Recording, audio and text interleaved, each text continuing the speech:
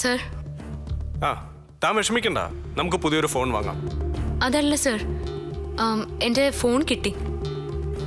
എവിടെ നിന്ന് കിട്ടി അത് പിന്നെ സർ. പറയൂ. അത് എനിക്കൊരു അബദ്ധം പറ്റിയതാ. എന്തബദ്ധം? ഞാൻ വാഷ്റൂമിൽ പോയപ്പോൾ അറിയാതെ അവിടെ വെച്ചുപോയി. ഇതൊക്കെ ഇങ്ങനെ കെയർലെസ് ആയിട്ട് വെക്കാവോ? ഞാൻ വെറുതെ എല്ലാവരോടും പറയുകയും ചെയ്തു. Sorry sir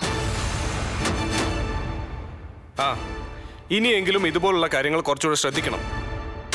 Sure sir sorry it's okay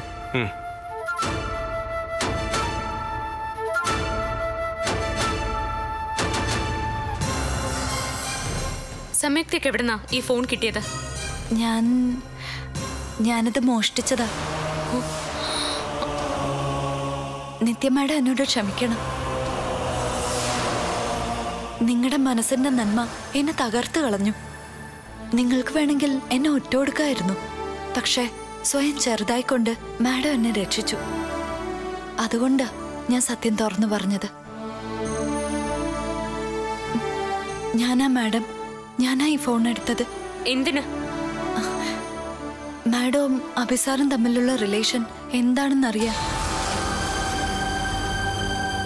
ഈ ഫോണിൽ നിന്ന് ഞാൻ സാറിന്റെ ഫോണിലേക്ക് ശബ്ദം മാറ്റി വിളിച്ചു നോക്കി. മാഡം എനിക്ക് മാപ്പ് തരണം. കണ്ട നാൾ മുതൽ ഞാൻ തനിക്ക് മാപ്പ് തരുവാണല്ലോ. ഒന്നുകിൽ ചോദിക്കുന്ന തനിക്ക് നാണം വേണം. അല്ലെങ്കിൽ തരുന്ന എനിക്ക് നാണം വേണം. അല്ല ഞങ്ങൾ തമ്മിലുള്ള ബന്ധം അറിഞ്ഞുകൊണ്ട് ഇയാൾക്ക് എന്താ ലാഭം? നേര് പറ. തനിക്ക് അഭിസറിനോട് പ്രേമമല്ലേ. അയ്യോ വെറുതെ ഓരോന്ന് പറഞ്ഞ എന്റെ പണി കളയല്ലേ മാഡം. ജീവിച്ച് പോയിക്കോട്ടെ പ്ലീസ്. ഏതായാലും സംയുക്ത ഈ കാണിച്ചത് വളരെ ചീപ്പായി പോയി ഞങ്ങൾ തമ്മിലുള്ള റിലേഷൻ അറിയണമെങ്കിൽ എന്നോട് ചോദിച്ച പോരായിരുന്നോ?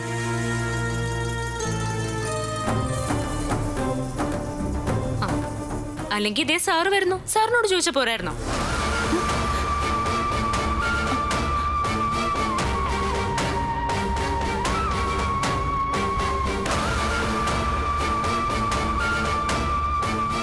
എന്താ നിത്യ എവിടെ ഫോണിന്റെ കാര്യം സംസാരിക്കായിരുന്നു സർ.